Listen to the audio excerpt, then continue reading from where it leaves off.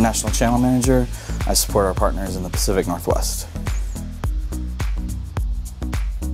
work with them on strategic initiatives, do account mapping, um, alignment with TBI resources, whether it be our back office, our engineers, our marketing teams, uh, try to drive new business for them.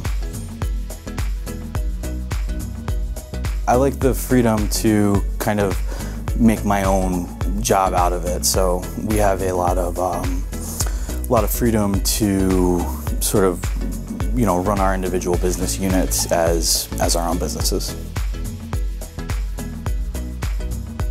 I love snowboarding, um, love to get outside and hike. Um, I love movies, music,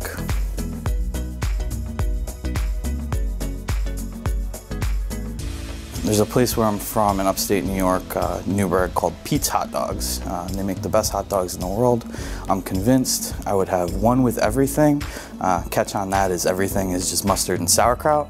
Uh, and then I would have one chili dog with raw onion and mustard.